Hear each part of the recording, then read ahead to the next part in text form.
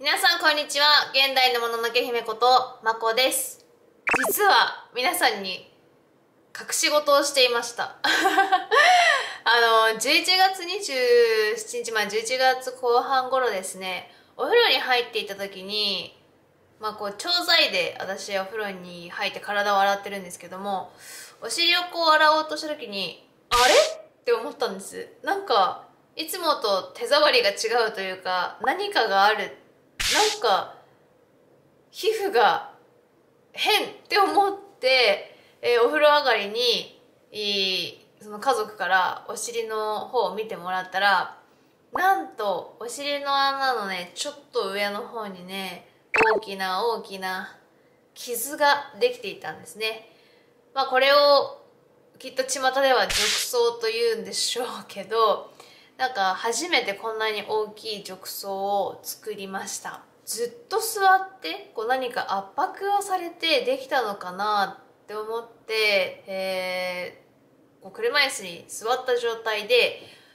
お尻をこう触ってみたんですね。そしたらその傷口の部分って全然こう触れてなくてちょうどこの座面からこう背もたれに上がる曲がった部分ってですか？のところらへんに傷ができてたので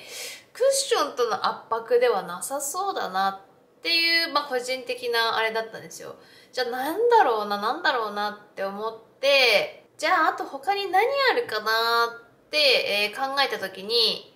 もう一つ考えられるとしたら家族でね温泉旅行行ったのを動画にも上げたと思うんですがその時にまあ露天風呂に露天風呂じゃないえっと温泉に入りました。で温泉ってやっぱこう石でできてるところなんですけど、まあ、結構ちょっとそこでガツガツガツガツやりながらお尻移動しながらお風呂に入っていったっていうのは1個あるんですよ。だからそこで傷を作っちゃってえー、まあ、広がったのかなってっていう感じでした。その温泉に入った時は多分そんなに何も傷ついてなかったのでもしかしたらそこでちょっとこう傷ができてそれが広がったのかな？まあまあそんな感じなんですけどもちょっと本当に原因はわからないんです。で結構大きかったのでどうしようかな。でももうタイミング的には福岡に行く時がタイミングだったのでお医者さんに行く時間っていうのもなかったんですね。なので、えー、やけどでもらってた皮膚科の薬を、まあ、塗っときゃいいかって思って塗っておいてでその座ってる時間も結構長いのは分かってるんですけど、まあ、当たってないから別にいいかって思ってその行動制限っていうのは全然してなかったんですよ。ただ寝る時いつも私真上をこう向きながら本当に仰向け状態でずっと寝てるのを横向きになって寝るっていうくらいしかまあ、気を使ってなくてでそのお医者さんにも行かず皮膚科さんからもらったやけどの薬をこう塗ってたら、まあ、結構どんどんどんどんこんな風にね発見当時の11月25日11月29日12月1日12月13日12月28日。傷がちっちゃくなってってたんです。だその初めのその外のま外の大きい外側からこう皮膚ができてって、えー、結構早めにちっちゃくなったんですね。でその後福岡の方で3週間くらいに皮膚科に行く用事があったので、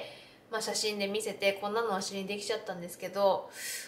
これまだあの薬塗った方がいいですかね？そのやけどの薬で良かったんですかね？みたいな話をしていやちょっとやけどの薬ではなかったやけどの薬じゃなく傷の薬を塗った方が良かったね。っていう話にはなったんですがまあここまで来たんだったらもう別に何も塗らなくていいよ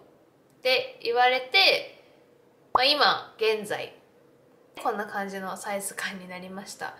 結構ねなおよりはやっぱり早いと思うんだよね。まあその褥瘡問題って昔以前にもね動画を出したのでもし褥瘡がわからない方は昔の動画を見ていただきたいんですが下半身麻痺の人たちにとって褥瘡って本当に命に関わることでなんかこうツイッターを見ててもですね、えー、褥瘡から悪化して肺に菌が入ってっていう風なことで亡くなったり結構本当に深刻な問題なんです。だから毎日チェックしてくださいねって病院とかでは言われるんですがやっぱ自分でお尻を見るって難しいですしましてや一人暮らしになったら見てくれる人もいないですし私は結構スマートフォンをこう駆使してねビデオモードにしてインカメにしてこう手を回してお尻を取るなんていうこともありますがまずはやっぱり触る。まあ手の感覚がない人はちょっと難しいですけどまあでも上司の、あのー、制限がない方はやっぱり自分のお尻を毎回こうお風呂入った時に触ってあげる。隅々まで触ってあげるってことが大切だと思います。やっぱねあの、触ったらわかるよって他の方から言われたことあるんですけど触ってそんな皮膚の異常わかるかって思ってたんですがやっぱこういう写真のような傷口になれば触ったらそれは分かります。なのでゴシゴシタオルでこう洗うだけじゃなくて自分の手でお尻を裸になった時にね触ってあげるっていうことは、えー、大切だなと思いました。でやっぱり皮膚を強くしていかなきゃいけない治りを早くしていかなきゃいけないどんどんどんどんこう治りづらく年を取れば治りづらくなっていくし下半身麻痺の人たちってやっぱ怪我が治りにくいって言われるんですよね。個人的にはやっぱり、えー、サプリメント栄養分をこう取ったりあとは保湿をしたりっていうのをしっかり心がけて強い皮膚であったり早く傷が治るようなあ体作りっていうのをしていくことはあ大切なんじゃないかなと思います。まあ、あとはやっぱりクッションですね、まあ、普段座ってるクッションが本当に自分に合ってるのかっていうのを再度考えていただいたりあとは、まあ、私がやってしまったように旅行先。温泉でこう傷つくって褥瘡になるって本当に結構ある話なんだそうです。なのでそういう時にちょっとしたマットを持っていくとかまあいいやって思うんですよね。私もまあいいやって思うんですけど やっぱそういうのって大切なんだなと改めて思いました。本当にねあのやけどから始まりお尻に傷傷作ったり結構最近下半身の下半身がまあ最近これですねこの動画撮ってる時だったら最近も車椅子から落下しちゃってちょっと足に膝にちょっと怪我膝とくるぶしを怪我したりとか最近本当にこう足さんの怪我が多いので注意していかなきゃ2022年えー、怪我のないようにこれ以上怪我のないように注意していかなきゃいけないなと思って改めて皆さんにお尻の大切さ褥瘡にならないようなあもの選び行動の仕方体の作り方っていうのを考えていただけたらなと思います。ということで、えー、この動画が役に立ったな良かったなと思っていただけたのであれば是非いいねボタンとあとはチャンネル登録をよろしくお願いします。では本日も最後までご視聴ありがとうございました。